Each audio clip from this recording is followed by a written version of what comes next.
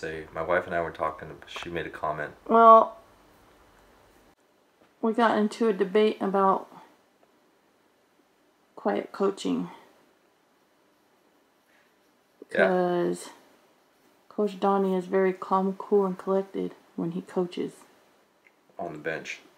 And then you told me, Well, you let me, remember the coach? let me preface that.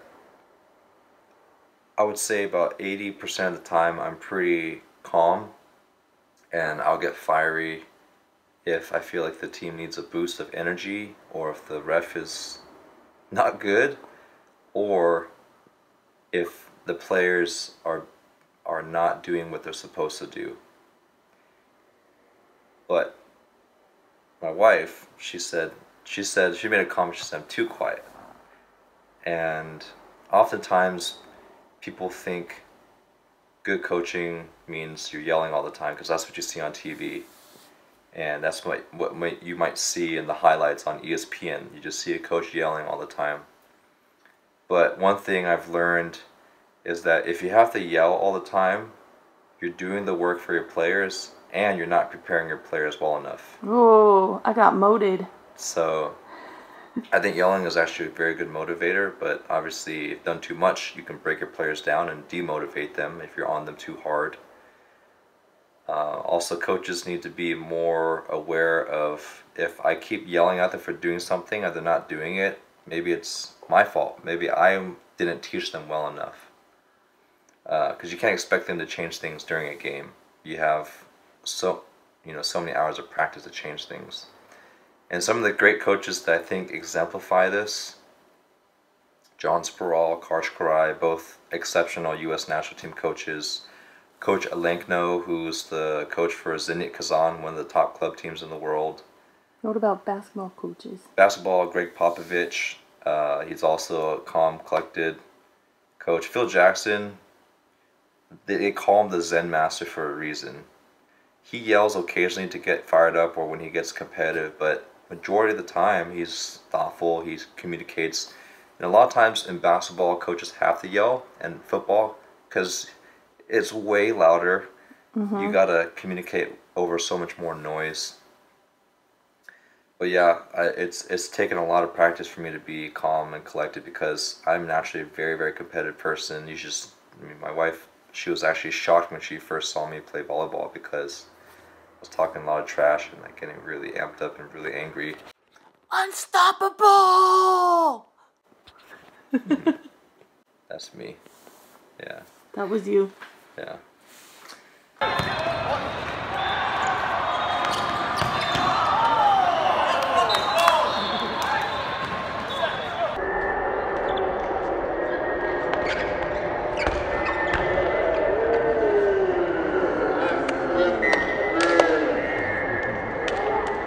Uh, so yeah, and actually, people always comment that. I mean, people essentially when people make that comment, they're essentially saying that I don't coach, and I'm I don't, I'm either not doing a good job coaching or I'm not doing any coaching. Want to make what comment? When when people say,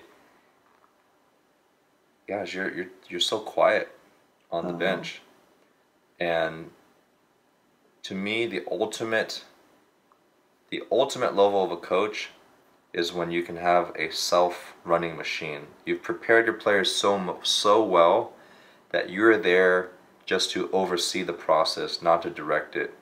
Oh, And when you can empower your players to have the knowledge and have the tools and have the ability to self-coach that when they do make a mistake, instead of looking for you to you, they can make those corrections in game and that is way more empowering and it's going to make them much better of a player than to always tell them what to do every single time. And my dad, he always told me, and I got so tired of this analogy growing up because he applied this to everything, like brushing my teeth and sitting down, sitting up, you know, random stuff. He said, if you teach, if you, I mean, I, I gotta get this correct. He said,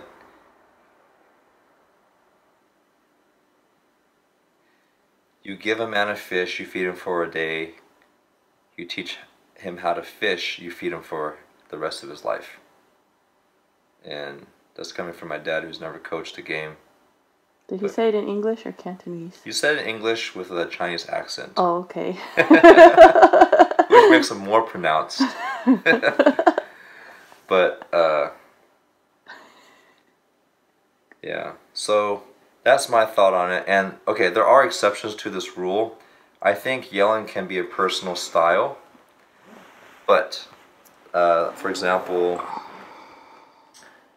Coach Bernardinho from Brazil, who that guy is fiery. That guy's a yeller, but it's it's because of who he is, not because there's a lack of preparation of his players. Obviously, his team won two gold medals and two silver medals, um, but I, I think also that's the exception. Um, that's how he gets in the zone, and he that doesn't rub his players the wrong way, and might be part of Brazilian culture where that's just a very expressive culture very passionate people, passionate about volleyball. But I think for the most part, if you have to yell too much during a game, it's you got to look in the mirror and think like like Michael Jackson. You got to look in the mirror. look, got to look in the man. Look at the man in the mirror, and and you know think about well, what am I? Why do I have to keep reminding them? Is it their fault for not remembering, or is it my fault for not teaching them well enough? Oh, And the more responsibility you take as a coach, the better you're going to be. Because some of the worst coaches I, I know are always blaming their players. It's like parents blaming their kids for being bad kids when they're the ones that raised them to be that way, you know? And I see this in the classroom because I'm a, I'm a teacher. So, and that's and that's life too. Uh, if you're always looking for excuses, you know, the people that succeed are those that always point the fingers at themselves. Those that don't succeed are always pointing at other reasons as to why they can't succeed. So it's just not just limited to coaching, it's, it's a life principle. So yeah, that's uh, Coach Donny's Corner Improv. the almost argument on the couch. So wise. Okay, the reason why we're So even the reason why we're even doing this session because we're having this conversation and Jamie is saying, "Hey, we should have like a spontaneous impromptu." so, you can thank my wife if you enjoyed Coach Donny's corner, and maybe we might comment in the section. Leave a comment in the section. Leave a comment below if you want to see more of these.